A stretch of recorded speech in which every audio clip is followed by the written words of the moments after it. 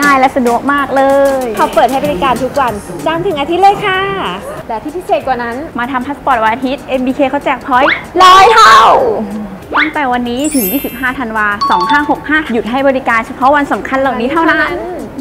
แล้วอย่าลืมจองคิวกันทางออนไลน์กันด้วยนะคะ บ๊ายบาย